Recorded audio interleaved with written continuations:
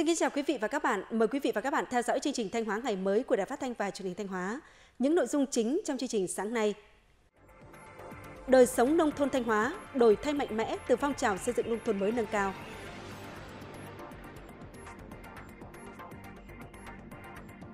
Nhiều cơ sở đào tạo lái xe chậm trang bị cabin tập lái theo quy định. Thưa quý vị và các bạn, theo đánh giá của nhiều tờ báo quốc tế, Việt Nam đang là một trong 10 quốc gia nhận kiều hối hàng đầu thế giới. Năm 2022, Việt Nam đã nhận 19 tỷ đô la Mỹ kiều hối, cao hơn 1 tỷ đô la Mỹ so với năm trước đó.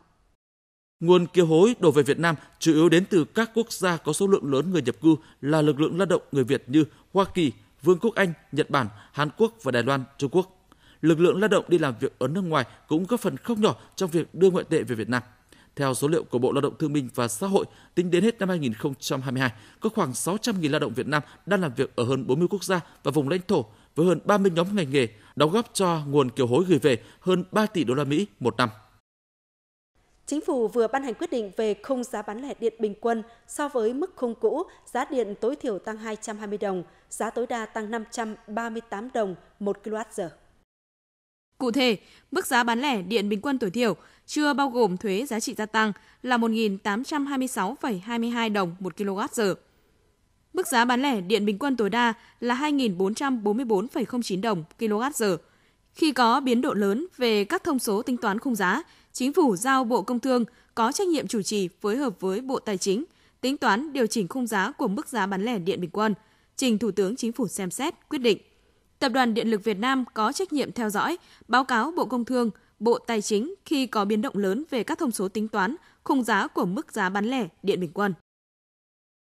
Trong bảng xếp hạng 500 ngân hàng đứng đầu thế giới về giá trị thương hiệu năm 2023 do công ty tư vấn định giá thương hiệu hàng đầu thế giới Brand Finance công bố mới đây, Việt Nam có 12 ngân hàng lọt vào bảng xếp hạng.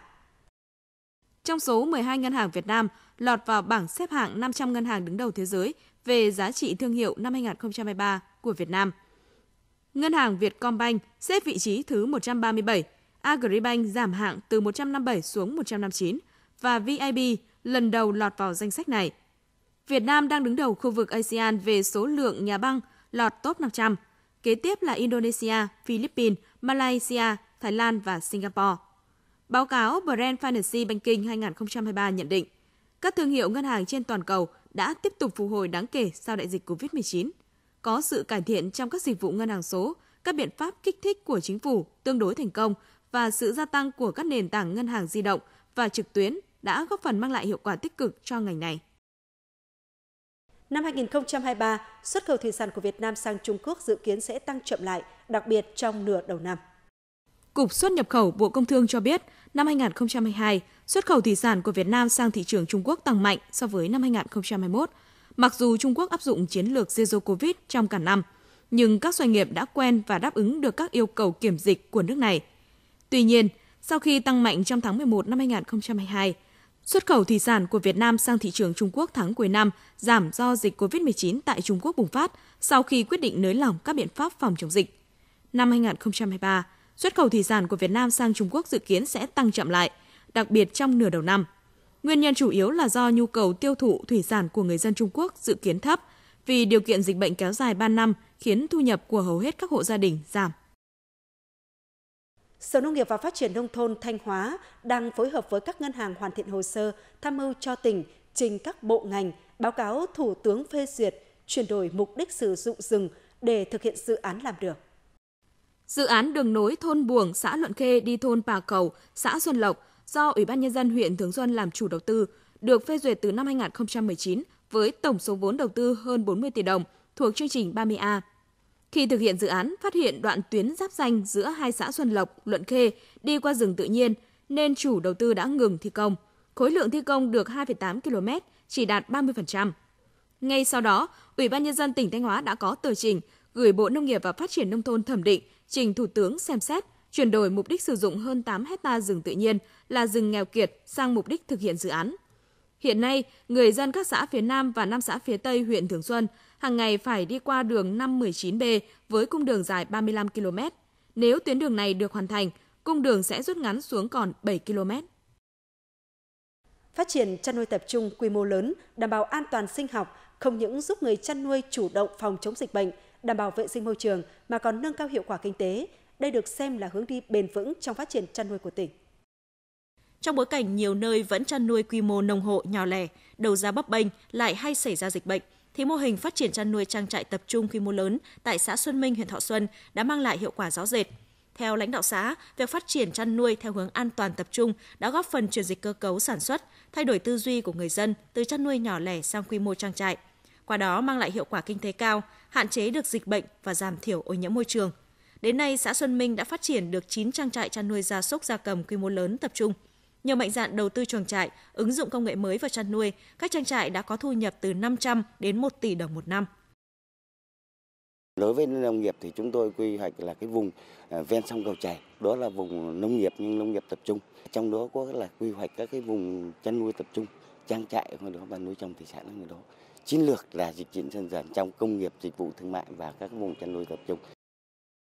Hiện nay, tỉnh Thanh Hóa có 39 khu cụm trang trại chăn nuôi tập trung quy mô lớn và 700 trang trại có số lượng con nuôi lớn. Nhiều địa phương như Thọ Xuân, Yên Định, Vĩnh Lộc, Hậu Lộc đã liên kết chăn nuôi lợn ngoại hướng nạc với công ty cổ phần chăn nuôi CP Việt Nam, liên kết chăn nuôi gia cầm với công ty trách nhiệm hữu hạn Jaffa Comfit Việt Nam, đều mang lại hiệu quả kinh tế cao. Để phát triển chăn nuôi theo hướng bền vững, các địa phương đã khuyến khích người dân tích tụ tập trung đất đai, chuyển đổi, chuyển nhượng nhằm tạo quỹ đất liền kề, tạo điều kiện thuận lợi thu hút các doanh nghiệp, tổ chức cá nhân đầu tư phát triển chăn nuôi quy mô lớn, ứng dụng công nghệ cao. Đồng thời, các địa phương đã hỗ trợ, hướng dẫn người dân áp dụng khoa học kỹ thuật tiên tiến về giống, chuồng trại, quy trình chăn nuôi Việt Gáp, an toàn sinh học. Qua đó, các hộ đã mạnh dạn đầu tư máy móc hiện đại, áp dụng khoa học kỹ thuật mới vào sản xuất, góp phần kiểm soát dịch bệnh, nâng cao hiệu quả kinh tế, hạn chế ô nhiễm môi trường. Chúng tôi đã tập trung là quy hoạch các cái vùng chăn nuôi ờ, tập trung để chuyển dần từ chăn nuôi nông hộ sang ờ, chăn nuôi theo cái hướng công nghiệp quy mô lớn, đảm bảo an toàn ờ, dịch bệnh. Bên cạnh đó thì chúng tôi tiếp tục đẩy mạnh ứng dụng các cái tiến bộ khoa học kỹ thuật vào chăn nuôi để nhằm nâng cao năng suất của đàn vật nuôi trên địa bàn huyện. Huyện có một cái cơ chế chính sách riêng bằng các cái đề án để hỗ trợ cho đến chân hàng rào của doanh nghiệp là theo từng giai đoạn. Như giai đoạn trước là có hỗ trợ là 2 tỷ đến 5 tỷ đồng. Để hỗ trợ về đường, hạ tầng giao thông, hạ tầng điện. Thời gian tới để tái cơ cấu ngành chăn nuôi theo hướng sản xuất hàng hóa quy mô lớn, tích tụ tập trung đất đai, ứng dụng công nghệ cao, tăng giá trị thu nhập và phát triển bền vững, ngành nông nghiệp Thanh Hóa chú trọng thu hút các doanh nghiệp, hộ dân đầu tư vào chăn nuôi tập trung, tham gia chuỗi liên kết gắn với xây dựng cơ sở, vùng chăn nuôi an toàn dịch bệnh và chế biến, Cùng với đó, các địa phương cần kiên quyết di rời các cơ sở chăn nuôi nhỏ lẻ ra khỏi khu dân cư, góp phần kiểm soát dịch bệnh và bảo vệ môi trường.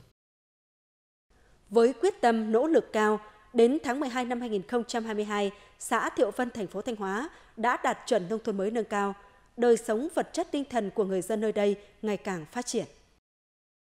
Trong ngôi nhà mới xây dựng khang trang với đầy đủ tiện nghi hiện đại, ông Hoàng Văn Khỏe, thôn 3 xã Thiệu Vân, thành phố Thanh Hóa vô cùng phấn khởi, tự hào về chất lượng cuộc sống của gia đình cũng như sự đổi mới của quê hương.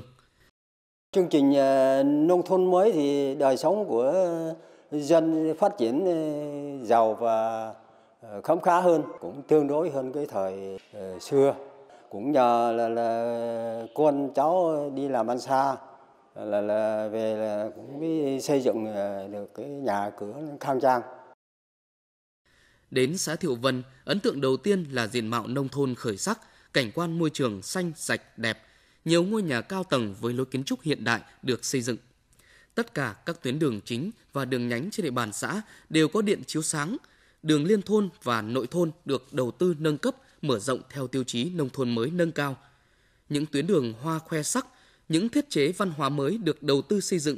đáp ứng nhu cầu sinh hoạt văn hóa cộng đồng, góp phần nâng cao đời sống tinh thần của nhân dân – để quê hương có được diện mạo như ngày hôm nay, cấp ủy chính quyền xã đã tích cực tuyên truyền, vận động nhân dân đẩy mạnh chuyển đổi cơ cấu kinh tế, hình thành các vùng sản xuất hàng hóa tập trung, đưa cây trồng, vật nuôi có giá trị kinh tế cao vào sản xuất, đồng thời huy động tốt các nguồn lực để đầu tư xây dựng kết cấu hạ tầng nông thôn. Nhờ đó, đời sống người dân được cải thiện rõ nét, thu nhập bình quân đầu người năm 2022 đạt 67 triệu đồng, toàn xã không còn hộ nghèo. Đơn vị thôn 3 chúng tôi cũng đã hoàn thành xây dựng nông thôn mới kiểu mẫu nâng cao. cũng vì tình hình đời sống của nhân dân một ngày càng đổi mới cũng nhờ được ừ, đảng và chính phủ đưa đường dẫn lối cho nhân dân chúng tôi cũng tập trung ờ, lao động sản xuất. À, sau khi hoàn thành nông thôn mới nâng cao thì xã đã có những cái diện mạo mới, ờ, có những cái cách sống mới cũng như là tinh thần của người dân được ờ, đẩy lên rất cao. Có được thành quả này đó là nhờ công sức của bà con nhân dân ờ, trong thôn ờ, từng hộ gia đình đã quyên góp, ờ, đóng góp và con em ở làm ăn xa quê hướng về quê hương. Đối với người dân xã Thiệu Vân, thành phố Thanh Hóa, được sống trên chính quê hương giàu đẹp mới cảm nhận trọn vẹn niềm vui, tự hào về những gì mình xây dựng nên. Và đây cũng là động lực để nhân dân và chính quyền địa phương phấn đấu hoàn thành xây dựng nông thôn mới kiểu mẫu trong năm 2025. Công ty Điện lực Thanh Hóa hiện đang quản lý hơn 707 km đường dây 110 kV và 21 trạm biến áp 110 kV. Công ty đã và đang tích cực số hóa, chuyển đổi số, áp dụng công nghệ vào quản lý vận hành lưới điện nhằm nâng cao chất lượng quản lý, đảm bảo cung cấp điện an toàn ổn định trên địa bàn toàn tỉnh. Trước đây, các trạm biến áp 110 kV thường phải vận hành với chế độ trực 3K 4 kíp, đòi hỏi phải có ít nhất từ 6 đến 8 nhân viên thay nhau trực nhưng kể từ khi đưa vào vận hành các trạm biến áp điều khiển từ xa không người trực đã góp phần giảm chi phí, giảm số lượng người trực vận hành tại trạm điện, giảm thiểu sự cố do thao tác nhầm của người vận hành, giảm thiểu đầu tư cáp và các thiết bị trung gian. Thì hiện tại là à, có cái là cái nhân lực gồm có 10 người thì quản lý 3 trạm. Ờ, anh em tôi là đi 3K 5 kiếp. Cái thao tác thì nó được uh, trung tâm điều khiển là thao tác, còn anh em tôi là đi kiểm tra thiết bị và hỗ trợ những cái việc là trong cái việc kiểm tra thiết bị và những cái khi có vấn đề về ờ, trục trặc sự hoặc sự cố trong cái trong vận hành thì như vậy là anh em tôi thấy rằng là về con người thì chúng tôi ờ, giảm được so với trạm truyền thống. Đến nay, công ty điện lực Thanh Hóa đã đưa vào vận hành hơn 50% số trạm biến áp không người trực 60% công tơ cơ khí được thay bằng công tơ điện tử có chức năng thu thập dữ liệu từ xa. Toàn bộ quy trình nghiệp vụ trong sản xuất kinh doanh điện đã được số hóa dữ liệu và số hóa quy trình như phần mềm quản lý nhân sự HRMS, phần mềm GIS, phần mềm kiểm soát an toàn ECP. Qua đó góp phần giảm chi phí, nâng cao hiệu quả hoạt động. Cùng với việc số hóa trong quản lý vận hành, công ty điện lực Thanh Hóa cũng nỗ lực chuyển đổi số trong dịch vụ chăm sóc khách hàng – công ty đã chuẩn hóa cơ sở dữ liệu trên hệ thống phần mềm quản lý đối với 100% khách hàng và các trạm biến áp công cộng chuyên dùng, đa dạng hóa thông tin dịch vụ của ngành điện. Thực hiện việc ờ, quản lý, điều hành ờ, và tương tác với cán bộ nhân viên ờ, và khách hàng là phần lớn lên là trên cái giao dịch số hóa và giao dịch điện tử. Thì cái tiện ích đem lại ở đây thì là có thể là mình tiếp cận được với cắt giảm cái chi phí vận hành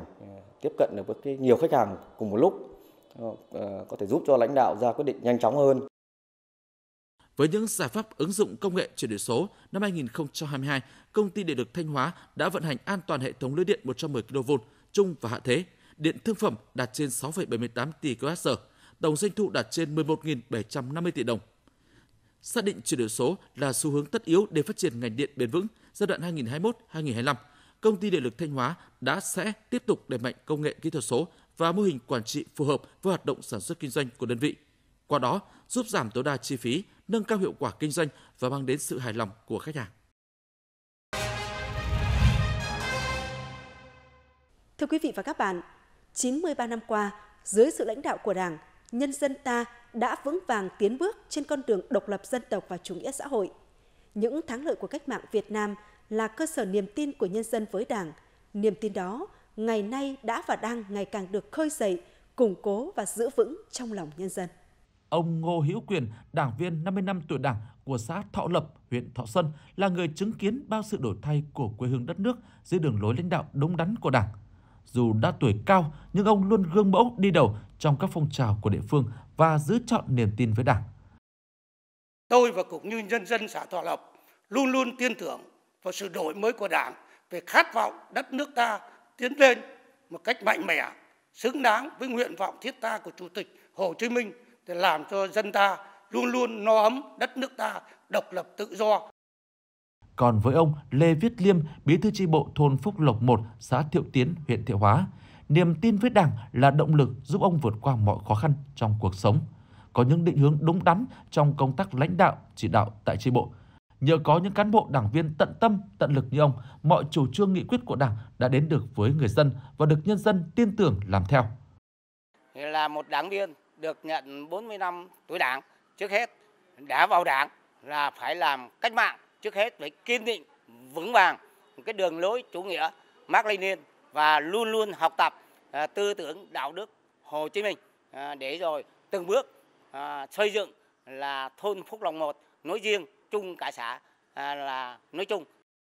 ở vùng quê nông thôn mới của tỉnh Thanh Hóa ngày nay, các cấp ủy Đảng, chính quyền và nhân dân ngày càng thấy rõ đường lối lãnh đạo đúng đắn của Đảng đã nâng cao đời sống vật chất và tinh thần cho nhân dân. Những thành tiệu đạt được không chỉ là kết quả tinh thần lao động bền bỉ, sáng tạo của nhân dân, ý thức trách nhiệm và sự kiên trì quyết liệt theo đuổi những mục tiêu đã lựa chọn của nhiều thế hệ lãnh đạo, sự vào cuộc đồng bộ của cả hệ thống chính trị mà còn là sự kết tinh truyền thống cách mạng của cha ông. Đó cũng là minh chứng cho đường lối đúng đắn của Đảng ta suốt 93 năm qua. Đảng ra đời từ nhân dân, đấu tranh phấn đấu vì hạnh phúc của nhân dân và Đảng thuộc về nhân dân. Từ đó, niềm tin của người dân đối với Đảng lại càng được giữ vững và lan tỏa. Đảng thì lấy dân làm gốc mà dân thì phải ờ, dựa vào lòng tin của Đảng thì là cứ thế phát triển và coi như phải mong coi như là càng ngày chúng ta càng phải giàu mạnh hơn nữa để là nước ờ, dân giàu nước mạnh. Cội nguồn sức mạnh của đất nước chính là tinh thần và ý chí quật cường của nhân dân dưới sự lãnh đạo của Đảng, đội tiên phong trí tuệ, bản lĩnh của giai cấp công nhân và cả dân tộc Việt Nam. Chặng đường từ khi có Đảng đầy ắp niềm tin, tình dân nghĩa Đảng, nhân dân tham gia, nhân dân hưởng ứng, ủng hộ làm nên mọi thắng lợi của cách mạng Việt Nam. Niềm tin của nhân dân chính là điều kiện để tăng cường sức mạnh của Đảng để thực hiện thành công mục tiêu dân giàu, nước mạnh, dân chủ, công bằng, văn minh.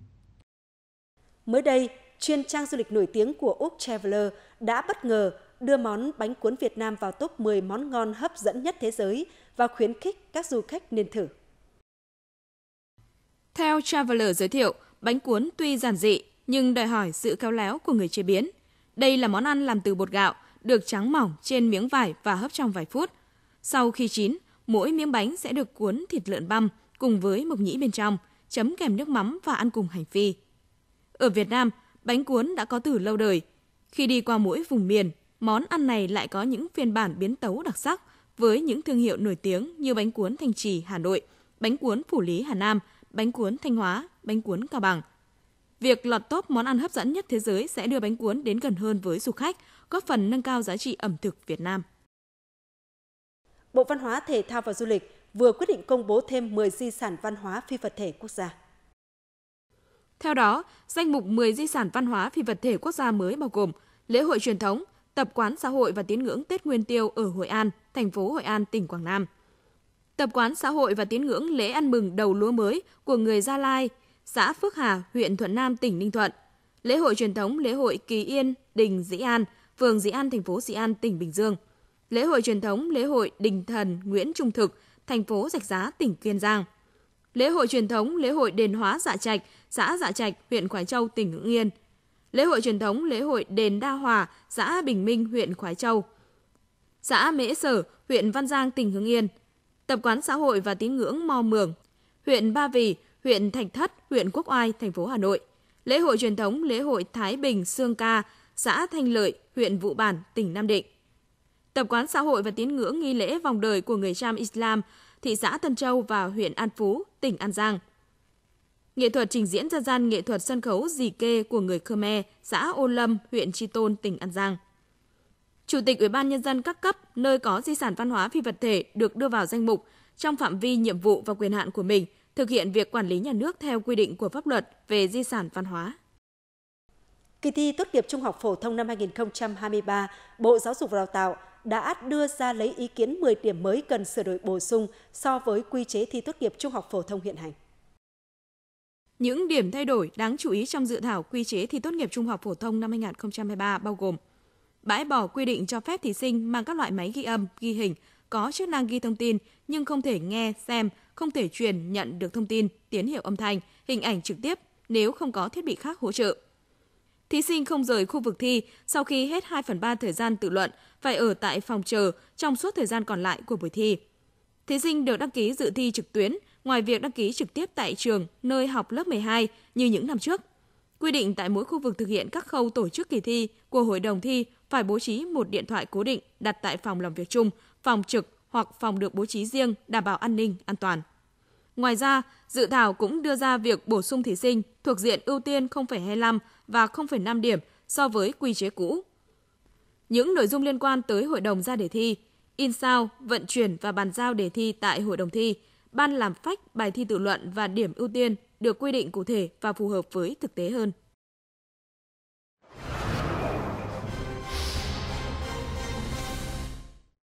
Thưa quý vị và các bạn, Ủy ban nhân dân tỉnh Thanh Hóa vừa có văn bản yêu cầu Sở Giao thông Vận tải chủ trì phối hợp với các đơn vị tăng cường đảm bảo an toàn giao thông đối với hoạt động vận tải hành khách bằng xe ô tô.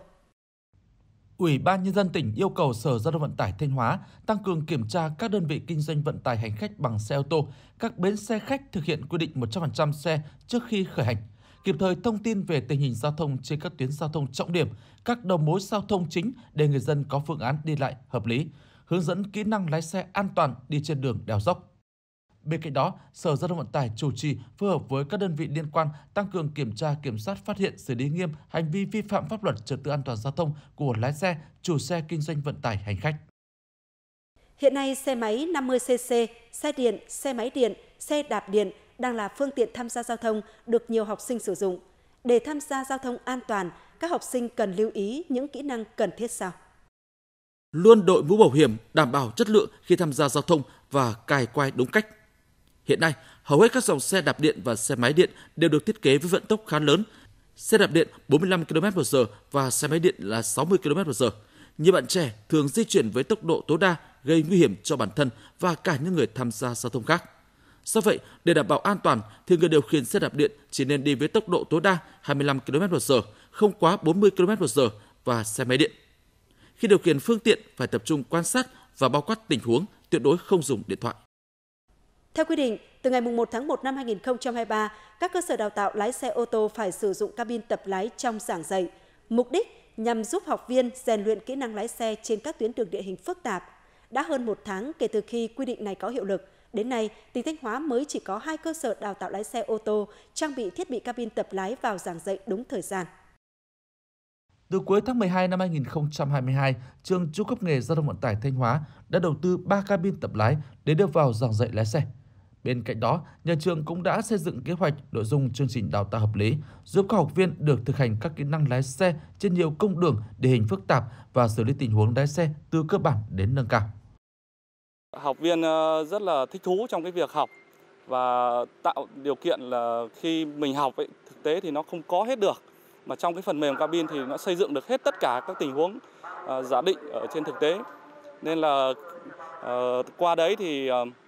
học viên uh, uh, có những cái kinh nghiệm và đúc kết được uh, ra những cái, cái phương pháp an toàn trong quá trình uh, tham gia giao thông. Nếu mà để một người đầu tiên mà bước lên xe luôn thì nó có rất nhiều cảm xúc mà mình thứ nhất là mình chưa quen máy, thứ nhất là ảnh hưởng đến người khác. Cái thứ hai nữa là nó không an toàn. Còn khi mà mình học cabin điện tử này thì nó có rất nhiều cái nó rất thực tế, nó rất thật và hơn nữa là trong cái cabin điện tử này thì nó có rất nhiều tình huống với quy mô đào tạo gần 1.000 học viên một năm, trường các đoàn nghề kinh tế, công nghệ VSET sẽ phải trang bị 6 cabin tập lái. Tuy nhiên, đơn vị này mới đầu tư 3 cabin để học viên bước đầu làm quen với thiết bị, đồng thời cũng giảm áp lực về tài chính cho nhà trường. Nhà trường cũng phân bố cái thời gian đảm bảo hợp lý để yêu cầu học viên đọc đủ đúng và đầy đủ cái cái thời gian theo quy định, là đảm bảo đúng cái cái khung thời gian. Để ví dụ như học mỗi học viên học 3 giờ là phải đảm bảo trước khi học thực hành lái đường là học viên phải được học hết. Thanh Hóa hiện đang có 8 cơ sở đào tạo lái xe ô tô, đã có hai cơ sở đầu tư thiết bị đưa vào tổ chức giảng dạy, vẫn còn 6 cơ sở đào tạo lái xe chưa trang bị cabin tập lái. Nguyên nhân các cơ sở chậm trang bị thiết bị cabin tập lái là do giá thành của thiết bị này khá cao. Trung bình một thiết bị có giá từ 450 triệu đồng đến 500 triệu đồng. Những cơ sở đào tạo lái xe thuộc đơn vị công lập dù có cân đối được kinh phí đầu tư thiết bị nhưng lại đang gặp khó khăn do phải thực hiện trình tự quy trình đấu thầu, mua sắm. Chương trình Thanh Hóa ngày mới hôm nay xin được khép lại tại đây. Cảm ơn sự quan tâm theo dõi của quý vị và các bạn. Xin kính chào tạm biệt và hẹn gặp lại.